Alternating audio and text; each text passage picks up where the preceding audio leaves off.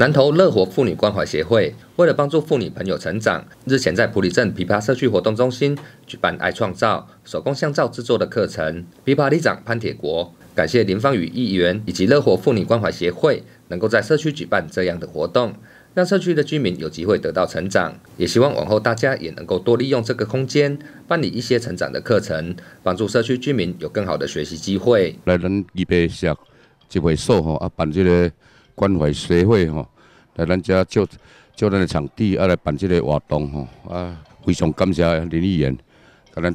甲咱斗三共斗合作吼，啊使咱这社区愈来愈闹热，啊愈来愈看头安尼吼，我嘛非常非常希望讲，咱场所尽量会当提供好了较济别别理的，啊来遮参与，啊互咱这个集会所，这个集会社区也会当较闹热安尼。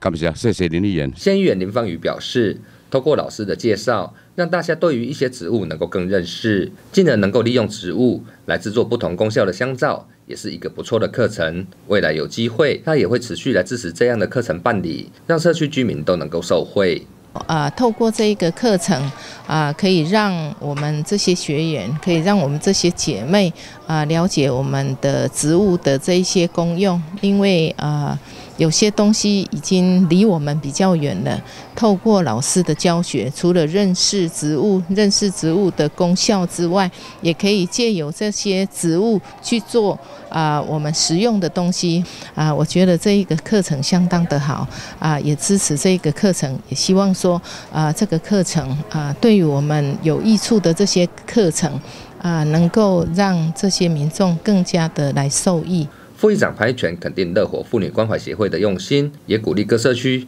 也能够多开办一些实用的课程，让社区居民都有机会来学习成长。记者陈伟一普里采访报道。